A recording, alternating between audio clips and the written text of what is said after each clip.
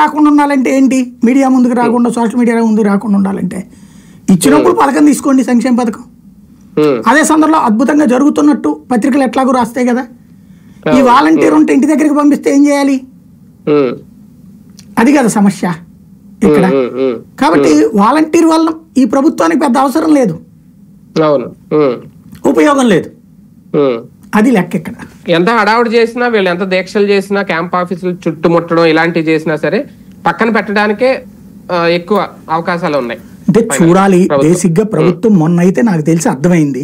ఉన్నతాధికారులు చెప్పుంటారు వరదల సందర్భంలో ఫేస్ చేసిన ప్రాబ్లం. తెలివిగల్లోళ్ళు అయితే ఆ వ్యవస్థను ఉంచుకోవాలి. లేదు మనం ఆ వ్యవస్థ మనకు వద్దు అనుకుంటే ఇక వాళ్ళ ఇష్టం అది. ఒకవేళ తీసుకున్నా తీసేసిన పెండింగ్లో ఉన్న వాళ్ళకి ఇవ్వాల్సిన వేతనాలు అయితే ఇవ్వాలి కదా సార్? అదేనా భారం అవుతుందా ప్రభుత్వానికి? చూడాలి. అనుకుంటున్నారా? అంటే కోర్టులకు వెళ్తారా? ఏం జరుగుద్దో తెలియదు ఇక అది. అదే చూడాలి అది.